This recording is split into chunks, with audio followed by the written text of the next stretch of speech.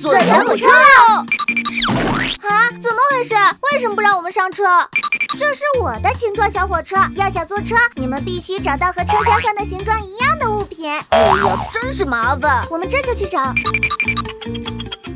我头上是方形的面包片，我坐方形车厢。我头顶是圆圆的大西瓜，我坐圆形车厢。那最后一个车厢肯定就是我的了，我坐。怎么？皮皮，你可真笨！最后一节车厢上的是三角形，你找到的图形可不是三角形。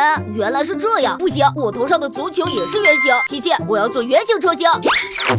我怎么被挤下来了？因为每节车厢只能坐一个人。哈哈，看来圆形车厢是我的了。琪琪，你就别坐形状小汽车了。皮皮，你怎么能这么自私？明明是琪琪先坐在圆形车厢里的。哼，不要你管。没关系，妙妙，我有办法。西瓜我切切切，切成三角形。现在我可以坐三角形车厢了。什么？这都可以？不错，大家都坐好了，我们准备出发了。等一下，你们要去哪玩？我还没上车呢。可是我的小火车已经坐满了。熊依依，你那么厉害。就想想办法吧。这好吧，召唤车厢。太好了，我进。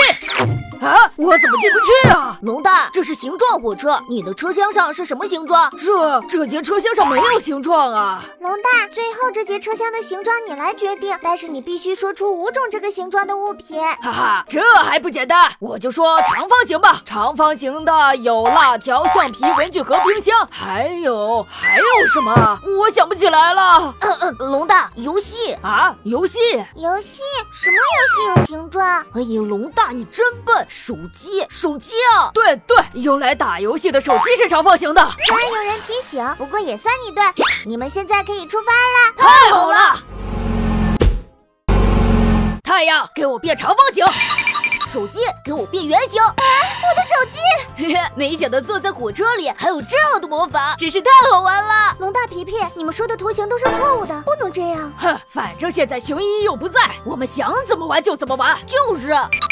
快住手！形状火车我上！我把形状火车拿出来给你们，是为了帮你们认识图形，不是让你们搞破坏的。孩子们，你们都认识什么图形啊？我知道，我的玩具车能变成玩具人，这是变形。放假的时候，爸爸妈妈带我去外地玩，这是旅行。皮皮，你说什么？老师，我这是口型啊！你们这帮孩子说的都是什么啊？老师，没关系，我有办法。正确的图形才能给生活带来便利。你们竟然用魔法搞破坏！对不起，熊爷爷，我们知道错了，你就原谅我们吧。